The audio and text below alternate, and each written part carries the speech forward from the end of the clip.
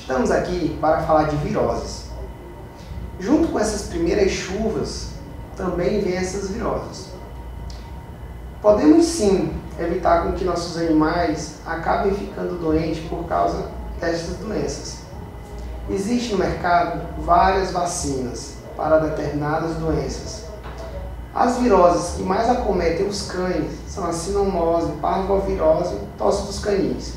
E os gatos também acabam sofrendo com algumas viroses, que principalmente é a rinotraqueite felina, que atinge o sistema respiratório.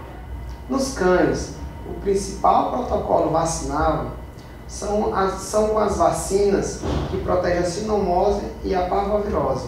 O ideal protocolo vacinal para o seu cão é determinado pelo veterinário.